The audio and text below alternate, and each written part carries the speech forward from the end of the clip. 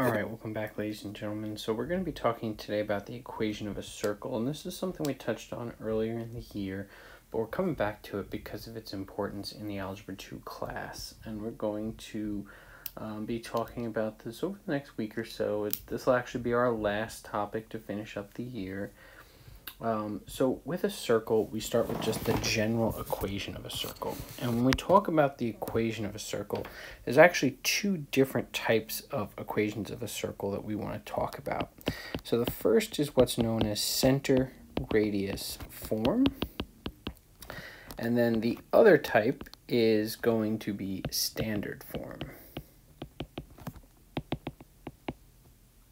Okay, so for center radius form, the equation is x minus h squared plus y minus k squared is equal to r squared. Now we'll talk about what that means in a second. And then for standard form, we actually have ax squared plus by squared plus cx plus dy plus e equals 0. Okay, and so what happens here is we're going to leave standard form for a minute, and we probably won't even get to standard form in this lesson today. We really just want to focus on center radius form. So the idea with a circle, okay, if we draw a circle, is there is a center. That center has coordinates h comma k. So we're living in the Cartesian plane, x comma y, there's a point. That point in the center has coordinates hk. That's where you're going to replace the h. That's where you're going to replace the k. The radius, which is our variable r, the radius is the distance from the center to the edge. So whatever that distance is there, that's going to be our r. Okay, so let's see what a question might look like. So here's a question that you might see. Determine the equation of a circle. Okay, so the first thing we need to do here as we look at this equation is we need to say, okay, what is our h coordinate? So we're going to start with x minus. Now we start with minus, but we may go to plus. The x coordinate of the center is 6. Okay, so because it's a positive 6, we're just going to have x minus 6. and then that'll be squared. To that, we're going to add, okay, because that's where our equation comes from. We're going to have y minus, and then k. k is the y value of our center. So if you count up how many boxes, the center of that circle there is 7. And so we're going to put a 7 in. Okay, we don't want to forget our squared. And that's going to be equal to the radius squared. So if you look here from the center to the edge, we can count horizontally uh, that there are two boxes. So we want 2 squared, so we're going to say is equal to 4. Okay, and that's going to be our correct answer. So we find the center, we find the radius, we plug in, we get our answer. Okay, and that's that's it. Okay, if I generate a new problem, it's just a matter of um, I'm just going to show the solution here. It's just a matter of finding the center and finding the radius. I find the center to be 0, 5. I find the radius to be 3. Okay. So now let's talk about how to do this with the distance formula. So with the distance formula, these questions are also going to show up on your assignment. These are a little bit different. So here we're going to give you the center and we're going to give you a point.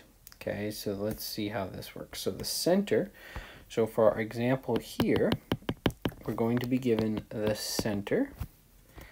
Okay, and the coordinates of our center are negative 6, negative 4.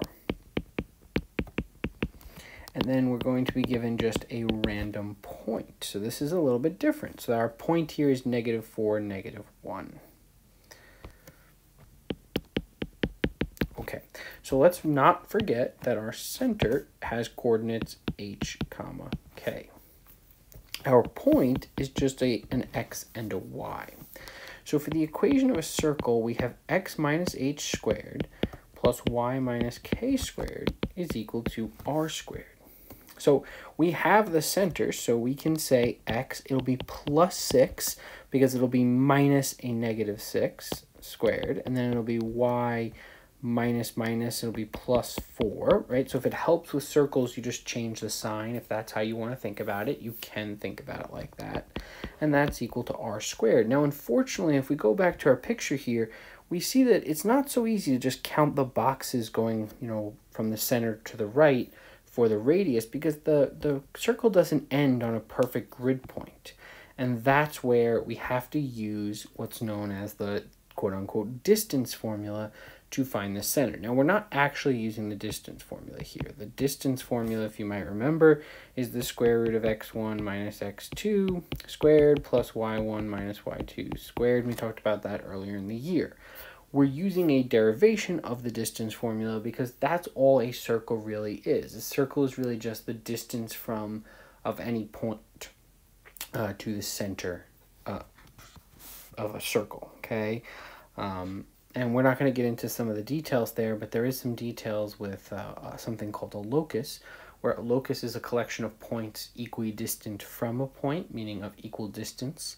And so that's really what a circle is. It's all the points the same distance away from that center point.